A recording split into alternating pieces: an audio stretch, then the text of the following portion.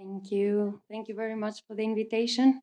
And actually, after this very nice presentation for Alison, I mean, I'm really amazed about what is happening, about this idea of really allowing people uh, free access to education. I think this is um, a wonderful case, actually. And um, I'm here, mm, yeah, to ha- I actually have this difficult role after your presentation to show what is the reality in Europe, at least, and what is happening with regards to vocational education training. So, for those of you who don't know me, um, I'm Anastasia. I work as an expert in qualifications and credentials at CEDEFOP. CEDEFOP is the European Agency for Vocational Training in Greece. We are situated in Thessaloniki. Uh, that was not always the case. We used to be in Berlin, uh, in Germany. Uh, but after 1995, the decision was to, to move to that beautiful country of ours. Um, yeah, I'm actually leading this research on micro credentials for VET, for vocational education and training. And I think um, when we started back in 2019, actually, when we were designing a call for tender for this important research work, we saw that actually empirical da- data was not there at all. Um, there was a lot of literature, let's say, written about higher education, uh, lots of discussions happening at uh, policy level. But actually, we, are, we were, and I think we are still a bit missing the empirical data, let's say the concrete evidence on what is happening in countries about this topic. So I think this is my value, or actually um, what I would like to show to you today. So um, when we started this research work, we wanted really to cover three main areas. First of all, we wanted to understand how micro credentials are perceived in countries in Europe, but always focusing on VET, on vocational training and labor market related education training. And I can tell you this was not an easy exercise at all. Even when, in the cases when we tried, for example, to conduct a very important stakeholder group survey, uh, where we tried to identify specific target groups like uh, VET providers, uh, ministries, like the people that are let's say, uh, behind the public sector, but also employers and employees, we realized that the term as such was very confusing. It was not really understood well. So, I mean, I'm amazed that today we, we are gathered uh, really to discuss the topic of micro credentials, where two years or so, I mean, countries were really struggling to understand what micro credentials is. Um, the second topic we try to understand better and really uh, get more insights is this important link between micro credentials and qualifications, qualification systems and frameworks in Europe. And thirdly, uh, the last, um, let's say, research, research work we are undertaking is related to the added value for the end user. Because micro credentials is a kind of a currency they really need to signal their value to all types of end users out there. And I will tell you more about that. So, in the first, let's say, theme, when we tried really to embark on this journey and to understand what micro credentials are, well, the findings that we collected were the following. Of course, we, we saw that quite often there are different features and characteristics that are common in these types of micro credentials in vocational education training. These are related to the title, to the date of the issuing, the identity, the provider. So you have different elements being, let's say, integrated in the, the actual terminology quite surprisingly, we thought it would be only online learning, but that's not the case, at least in the countries we were exploring. We saw lots of uh, instances of traditional face to face mode, let's say, of delivery. And I think this is uh, really important in the way we, we are discussing digital credentials, digitalization, but still. Everyday learning education really takes place in classrooms, and this is a fact, at least for the year 2023. Of course, this changes but it is actually um, a current situation. Of course, there are different types of learners that are engaged in micro credentials. We, from our results of the study, we saw that uh, they are mostly popular for employees, for new hires, for adults. Actually, the ones that are sometimes really um, uh, dropping out of education, they, they have this opportunity to get back into uh, real, you know, uh, real education uh, pathways, and they want to, to somehow upskill uh, their profile. So in that sense, they are really appealing. Of course, um, we also saw that there is this. There has been a very important debate at the European level um, and this was and this was very much linked to this idea of micro credentials actually threatening what is already existing. Let's say the existing offer, what qualifications, traditional qualifications have to offer. But we realized from that study that uh, all this emerging phenomenon of micro credentials is not there to really threaten what is already existing, but rather add or complement to the existing offer. So against those critical voices, especially from trade unions in Europe, we really had to uh, justify very well and uh, provide the good arguments uh, in order to support the statement. Of course, as I said, our important focus is related to qualifications and to evolving qualification systems in Europe. But before giving you the findings on that specific theme, I wanted actually to show you what I consider a very important tension. Tension between the public and the private system, right? So we we saw already what Alison uh, is doing, what is happening with LinkedIn, amazing, let's say, activity, thousands of learners and students uh, in private sector. Really, this cost issue, um, all these different barriers that we would consider in the public sector are really overcome. So on the one hand, you have like the supply and the demand side, and I think this is a very important, let's say, equilibrium. This is a, a very important tension but the same that, at the same time, it actually shows a kind of a flow uh, from one side to another. And we need to consider that, that, these are two poles that might be contradicted, but at the same time, very attracting uh, each other. And then on the other hand, you have this idea of a qualification that for me is very, very important. And then, although we are used to uh, acquiring, obtaining these traditional qualifications that are addressing specific target groups with specific times of learning, ways of learning, and everything, on the other hand, you have these more flexible and nimble qualifications and credentials appearing that are very uh, interesting for a diverse group of learners. So, again, another tension, and, and all these discussions need to be considered when we are actually overgeneralizing or creating different statements on micro credentials right? So I think this is um, an important element we we need to take into account. Of course, when talking about qualification, somebody being qualified, even if it's higher education, vocational education, training, general education, in all types of learning, we need to understand that it cannot be a single or unique concept. That is why we adopted this dual perspective where we consider that qualified can be somebody in the sense, of course, of having a, a, formal qualification as well, no. But as we've seen in reality from the private sector, is actually, is actually all this idea of demonstrating, really showing your ability, your actual skills and competences that your employer would really uh, like to seek for. So in that sense, again, there's another tension of what we consider more traditional or more modern type of qualification and credential. So, in that sense, we can see then the important link between those two different worlds. Actually, if you think about the important function be behind those more modern type of qualification credentials, you see all this idea of lifelong learning, these alternative pathways uh, to education, all this facilitating all types of learning you might have acquired, not only from the formal system, but of course from the non formal system. And this is why validation in that sense is very important. now, our findings, sorry. So our findings showed that micro-credentials do not necessarily present a new form uh, of learning, of recognition, but they are rather there to better define what already exists. And one, when we try to really engage in this important exercise in countries in Europe, we saw that the different qualification systems vary a lot across countries. So, for example, what is the situation? The German qualification framework, for example, would be quite distinct from the Greek uh, qualification system or the Italian one. So, for, for sure, there's this diversity into the national system, and this needs to be considered when we are discussing the topic of micro credentials. Of course, there are two main elements that have. Uh,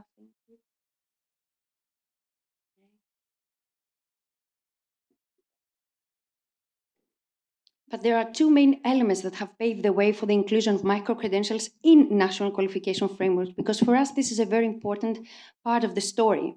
Because we saw that credentials and micro-credentials can be trusted quite often when they are linked to the national system, to the national qualification frameworks.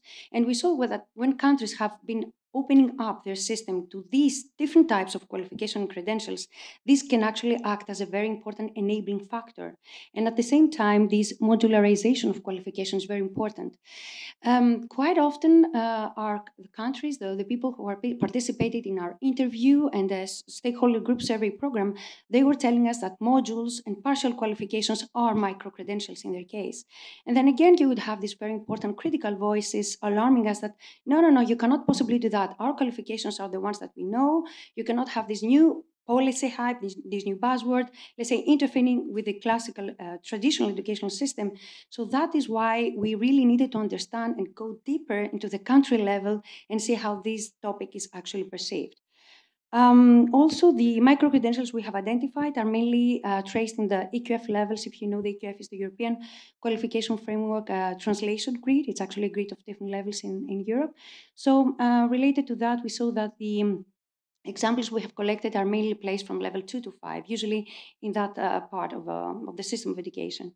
Of course, quality assurance principle is very important for these uh, phenomena, especially when we are considering national processes or how the public sector is actually opening, opening up to these type of credentials. There are all the countries in Europe are engaging currently in different discussions, uh, policy discussions. And what we saw is that we could place them under these three categories, as you can see in the slide. And this depending is depending on the stage of development of those discussions. So you have actually the biggest, let's say, proportion of European countries are already in the first case. So they are currently discussing, eh? they are at the very initial stage. And you see, like in cases like in Australia, New Zealand, or the USA, how the topic has already been very well received, how micro credentials are being issued. And here in Europe, at least at the policy discussion, this is the reality, right?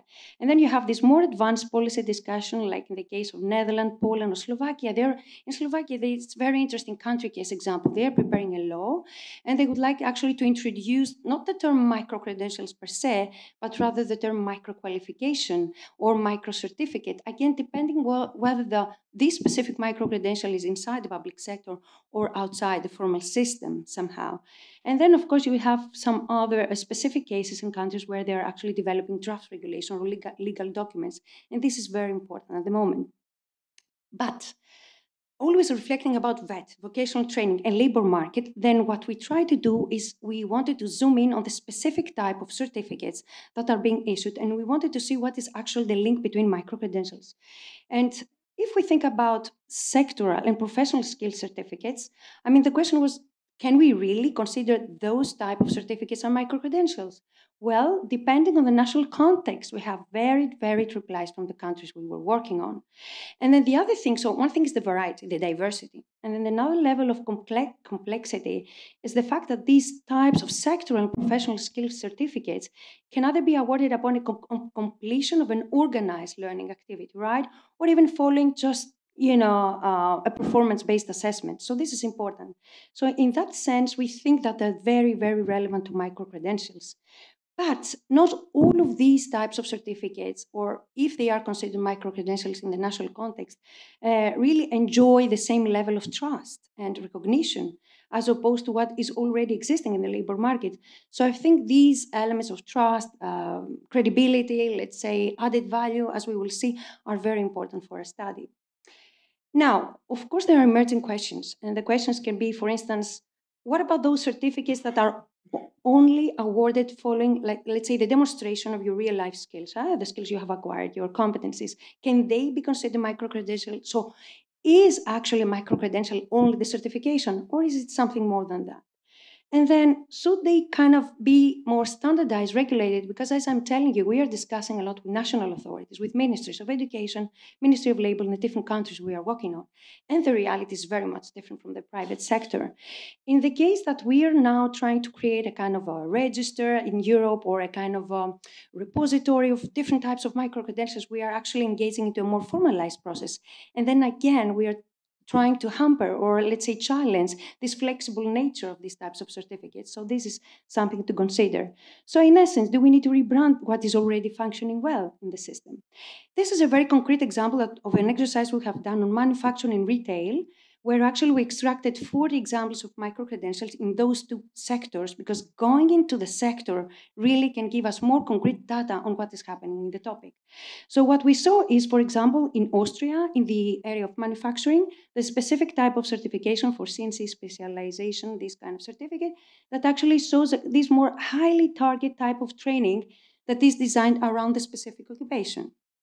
At the same time, we also saw new and more emerging topics uh, being there in this specific sector. And if you go then to the workload that is associated with those type of certificates, we see there are so many differences. Differences in countries within the sector of manufacturing, and the same, of course, for retail. So again, the workload is quite important as a, a factor to consider. Of course, the mode of delivery might differ. It can be online, it can be a blended type of learning. So you see already the diversity in one sector in specific countries. Imagine to cover all sectors in Europe and of course beyond and to understand better what is happening. So in these in these specific examples, especially, I mean, the, this idea of learning outcomes is a key uh, one, at least in Europe, because we think it's all these aspects of really showing at the end of a learning process all your knowledge, skills, and competencies. And is that really grasped in these kind of micro credentials in this sector? Well, not necessarily, uh, not, and not always. That is not always the case, because they might, for instance, in these examples, we can see the description of learning outcomes, but there are many of those that do not have any reference to that. So that even creates the comparability exercise uh, more difficult.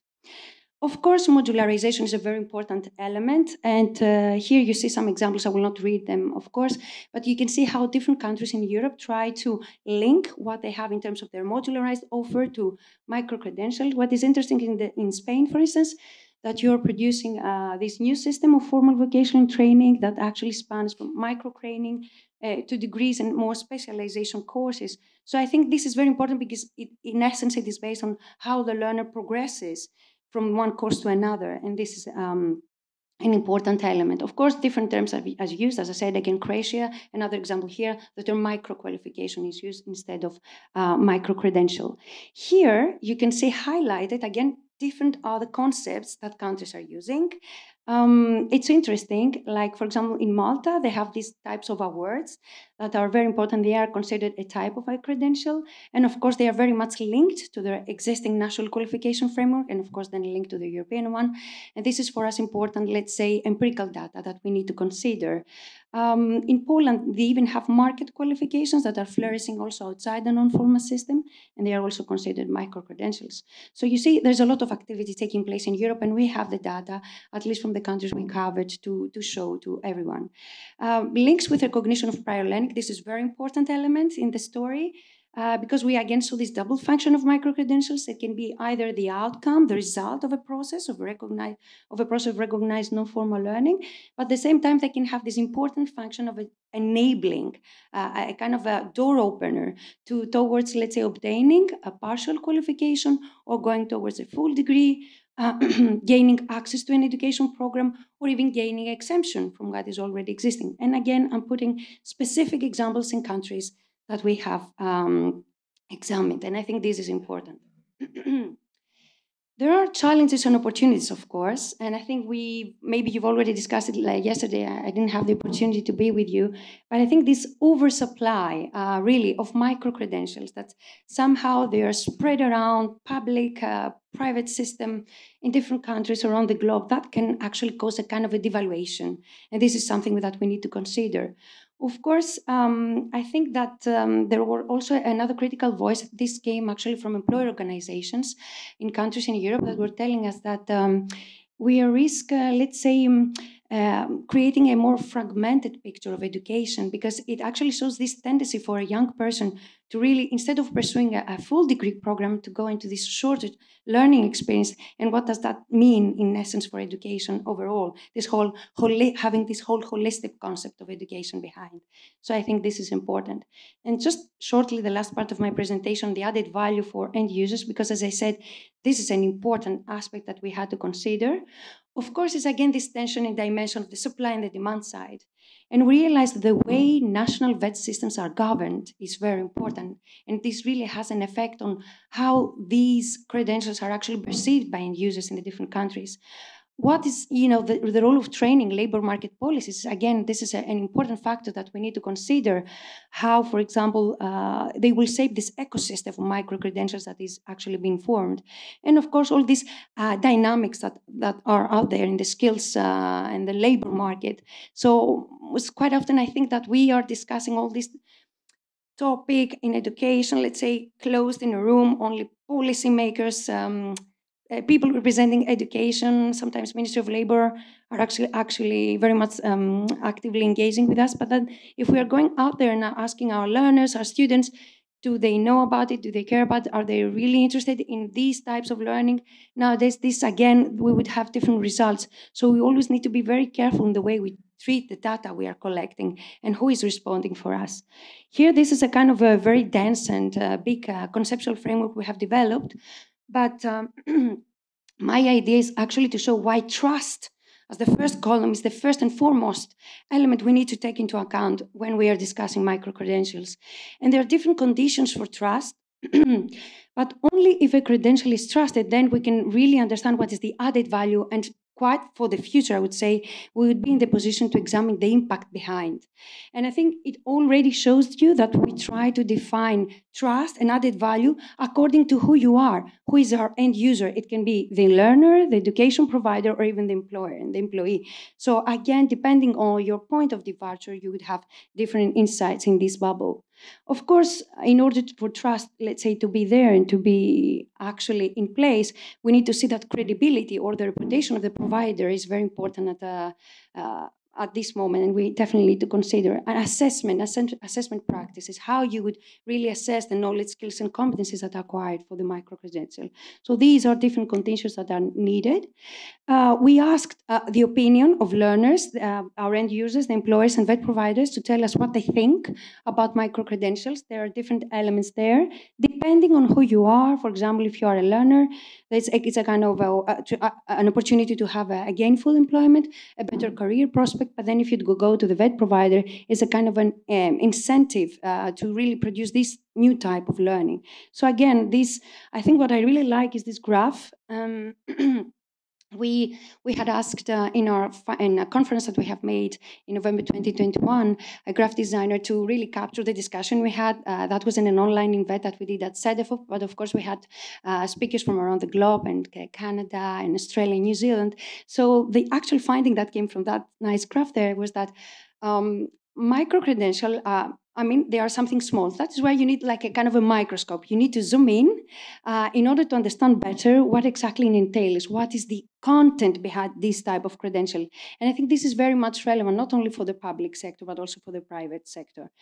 Um, of course, there are emerging questions, like, for instance, could micro-credentials become a selection mechanism even that would even increase further the inequalities, the social inequalities we see in Europe at least?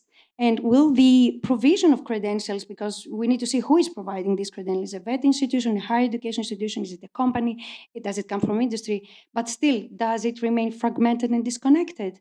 And of course, we need to really understand whether there are user-centered services. How do you approach the learner? What kind of guidance do you get? Where can they find information? What are the platforms to use?